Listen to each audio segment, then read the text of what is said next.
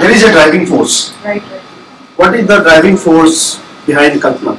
Ah, like physically अगर देखा जाए ऑफकोर्स आपका परिवार हमेशा होता है वो like from my father then my sisters mama now my husband Parvez is there ये तो एक होता ही है लेकिन उससे ज़्यादा जो आप पेन देखते हो ना समाज में आप जब पेन देखते हो समाज में और उस पेन को आप जब यहाँ पे आप अपने साथ जुड़ा हुआ पाते हो मैं बहुत बार बोली हूँ, मेरे घर में बहुत बार पत्थर फेंका गया है बचपन में।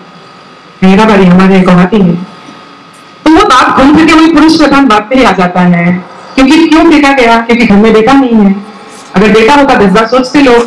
तो ये सब ये सब जो है ना, अगर एक यहाँ पे आग लगना होगा आई थिंक यहाँ आग लगना ज़रूरी है। मेरे इधर बहुत बहुत सारी बातें हैं बहुत सारी बातें। हैं सो वो मेरा ड्राइविंग फोर्स है। और आदिवासी क्षेत्र में जैसे छत्तीसगढ़ झारखंड में। जंगल छीन लिया गया है।